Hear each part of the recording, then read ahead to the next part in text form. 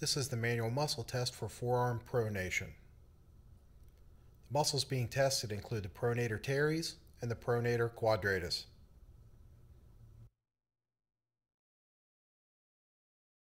To test for grades 5 and 4, the patient is seated with the elbow flexed. The clinician supports at the elbow with one hand while providing a force into forearm supination with the other. To avoid injuring the wrist during the manual muscle test, it is very important that the clinician provide the resistance through the radius and through the ulna.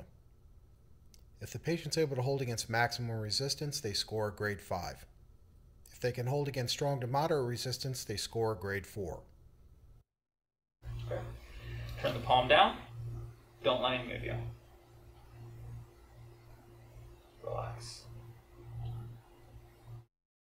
When testing for grade 3, the clinician stabilizes the elbow while the patient attempts to move through pronation range of motion.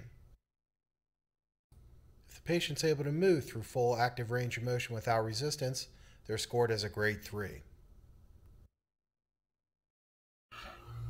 Palm down. Relax. For grades below 3, the patient attempts to move through pronation range of motion while the clinician palpates the pronator muscles. If the patient's able to move through partial range of motion, they earn a grade 2. If there is no movement but muscle activity is detected, the patient is scored as a grade 1. If there is no discernible muscle activity palpated, the patient scores a grade 0. Palm down.